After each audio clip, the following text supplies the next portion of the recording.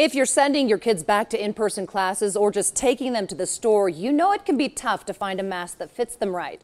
Experts say you don't want gaps on the cheeks. That means the mask is too big and when you have a kid wear a mask, you want it up around their nose.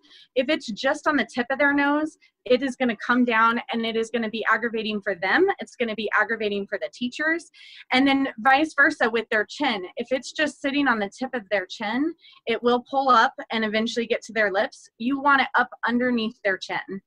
Cleveland says after the mask is on, have your child sing the ABCs to make sure moving their mouth doesn't pull the mask off their nose or chin. That means the mask is too small. She also suggests buying white masks and using fabric stickers or fabric markers to let your kids create their own masks.